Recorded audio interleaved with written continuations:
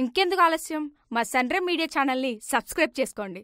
చిన్నప్పుడు స్కూల్లో బెల్ కొట్టాలని అందరూ చాలాసార్లు అనుకుంటారుగా. కింద బెల్ ఐకాన్ ఉంటుంది. కొట్టండి హే.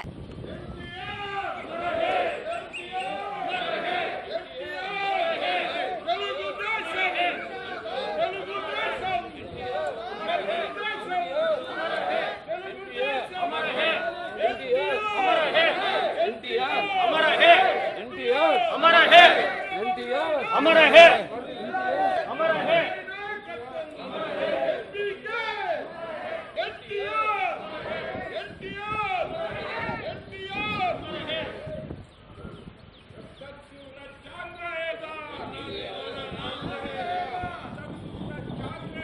Yeah, Yeah.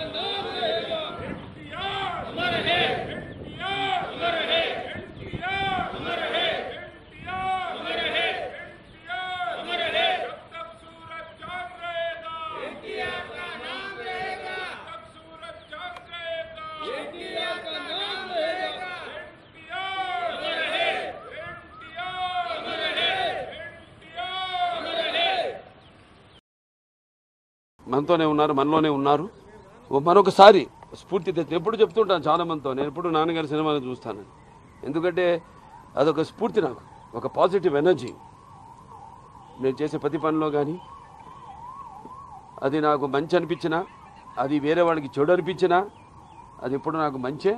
వీటన్ని కూడా కారణం మా నాన్నగారు ఆయన స్ఫూర్తి. ఎందుకు చెప్తుంటాను ఎప్పుడైనా ఏదైనా అప్పుడప్పుడు మనిషినే కదా ఎవడన్నా. ఒక జీవితంలో ఎప్పుడో నిరుత్సాహ దీనికి గురైనప్పుడు ఆయన పాటలు ఓ రెండు ఏదో బ్రహ్మంగారిలో మాయదారి మల్లా వండి రా ఈ మాయదేహం ఆరు చక్రాలు చక్రములు అమరి ఉన్నాయి రా అని. లేకపోతే మత్తు బదలరా నిద్దుర ఆయనకి శ్రీకృష్ణ పాండల పాటలు. సరే.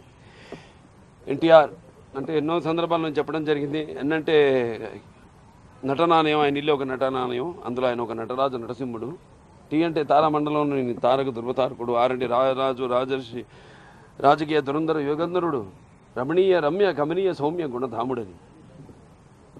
ఎన్టీఆర్ అంటే మరి మనం ఆయన పూర్తిగా అంటే అన్ని కోణాల్లోంచి చూస్తే మరి ఆయన ఆరు అడుగుల ఆజానుభావుడు స్పృద్రూపి అలాగే అకుంఠిత దీక్షాపరుడు అలాగే ఆయన మేరు సమాన ధీరుడు అలాగే నట కృషి బలుడు అలాగే ఈ అభినవ పురాణ పురుషుడు యుగ పురుషుడు పేదవారి పెన్నిది అలాగే ఆడపడుచులందరికీ అన్న నందమూరి తారక రామారావు.